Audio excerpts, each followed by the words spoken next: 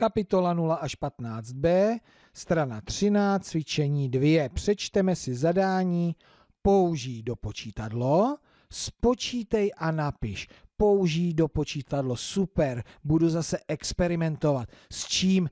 No, aha, budu hledat, které všechny příklady na sčítání dávají výsledek 13. Všechno je tady 13 rovná se.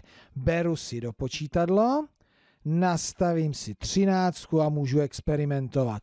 Takže když si z desítky a dvojky složím 12, vidím, že do 13 mě chybí 1. 12 a 1 rovná se 13. Nebo 11 a 2 rovná se 13. 10 a 3 rovná se 13. Ale co dál? Co takhle 9? 9, já tam zkus... Ne, to se mi tam nevejde.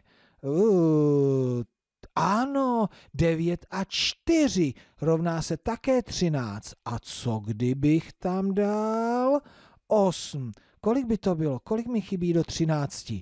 8 a 5. No to je skvělý. Takže na tohle se, myslím, těšíte také, takže budete zapisovat. Tak, 13 rovná se 11 plus, kolik jsme to říkali?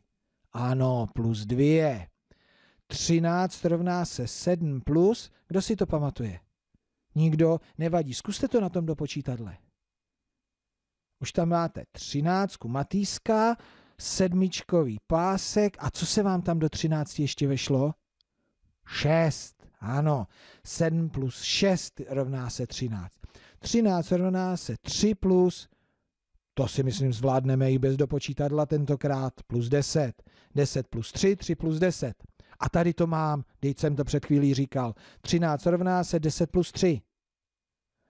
13 rovná se 6 plus...